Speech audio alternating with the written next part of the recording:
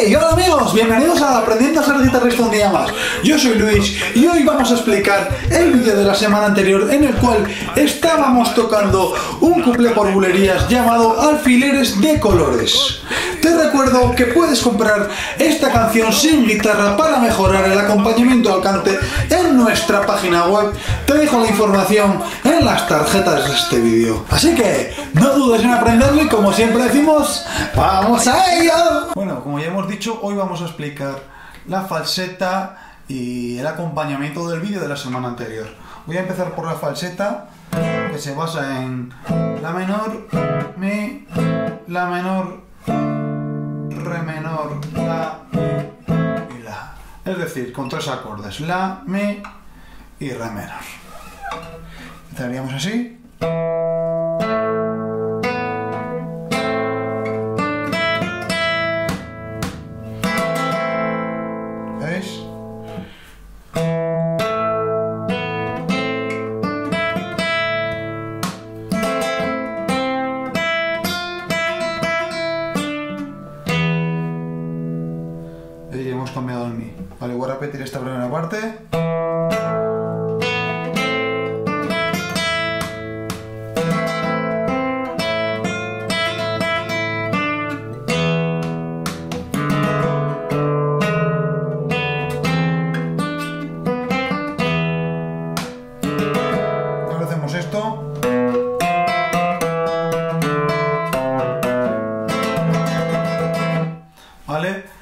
Repetir hasta aquí muy lentamente.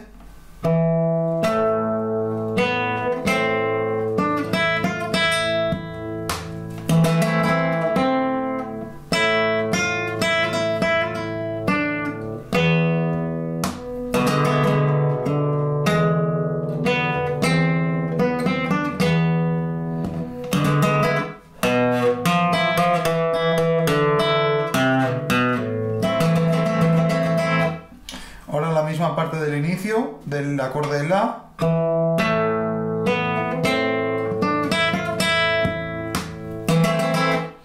Ahora meteríamos el acorde de la séptima, pero en este caso no lo vamos a poner, aunque sí que está ahí, ¿vale? Y haríamos...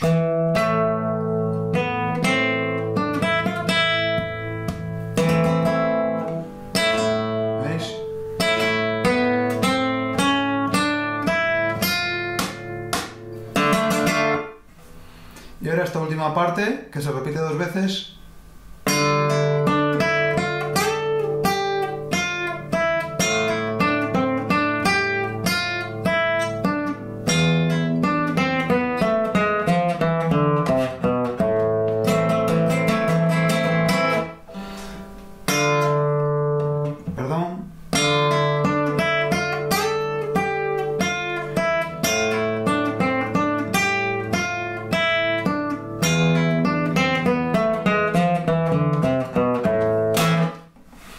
La voy a tocar entera toda una vez.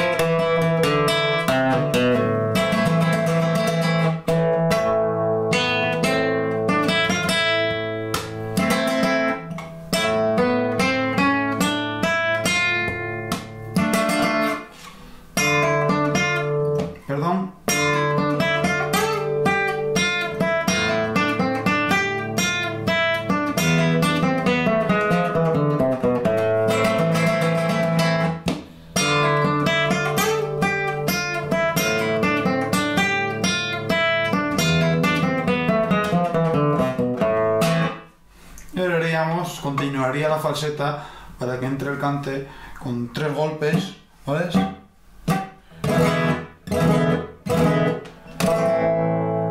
Vale. Estos tres golpes es muy importante en, el acompañamiento por bulerías, en, los cuplés y en las bulerías, por ejemplo, en acordes mayores, es muy, es muy típico que hagamos... Estos últimos es para completar el tiempo. Estos golpes irán en los tiempos 12, 2, 4 y en el último en el 6, ¿vale? Y podríamos dejar eh, sin cerrar el compás o lo podríamos cerrar. Es decir, 12, 2, 4, 6. Y claro, esperarlo para engancharlo otra vez en el 12. O podríamos eh, cerrarlo. 12, 2, 4, 6, 8, 9, ¿Veis? Por ejemplo así, ¿vale? 6 o así, ¿vale?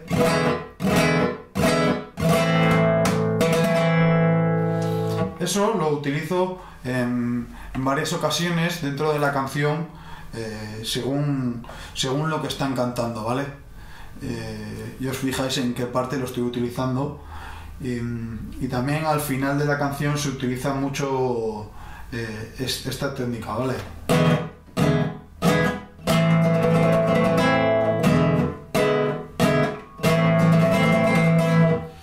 Esto es muy típico también de- del toque de, de moradito chico, ¿no? Porque hace...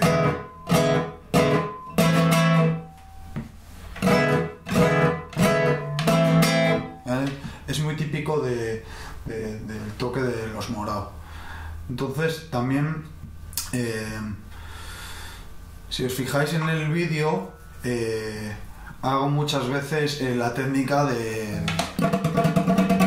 del cierre, este que llaman pues el cierre de bola inteligente, ¿no? Y hice un vídeo sobre la explicación de este cierre ah, y lo podéis encontrar en el canal. Y, y también otra cosa muy importante que ya una vez he explicado es...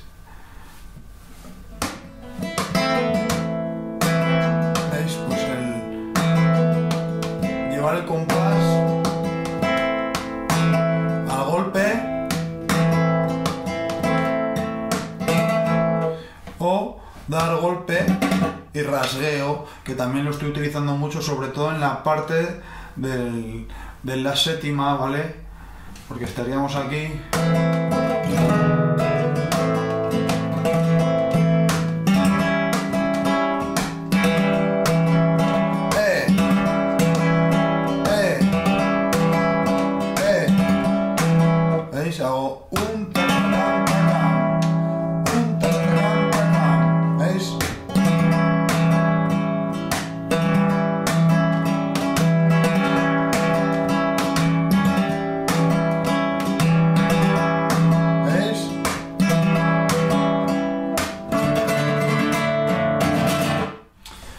Esos cierres también eh, bastante importantes cuando vamos eh, cambiando a- al re menor.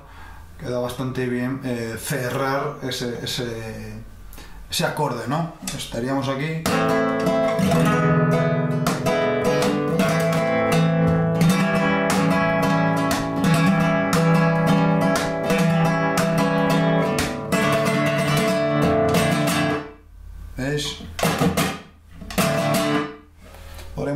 Así o eh, doblado. ¿Veis? Un 2, 3, 4 o un 2, 3. Eso como prefiráis. ¿Vale? Entonces, eh, esas serían las cosas que a mí me gustaría destacar de, de este vídeo, ya que hay otras, como por ejemplo el inicio, que hago un par de toques, un y un. Eso ya lo hemos estado explicando en otro tipo de acompañamiento, porque es muy típico hacer ese soniquete al acompañar el, el cante flamenco, ¿vale?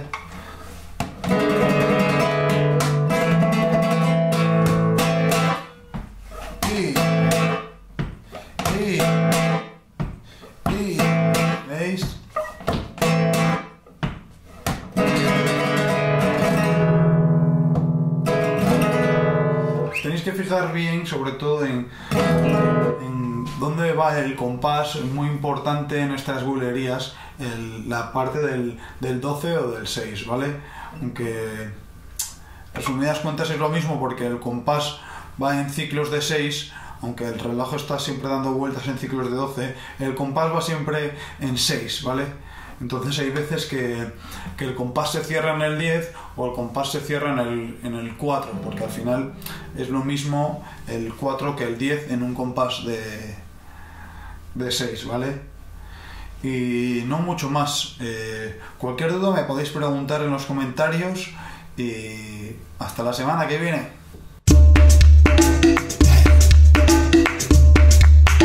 Aprendiendo a ser guitarrista.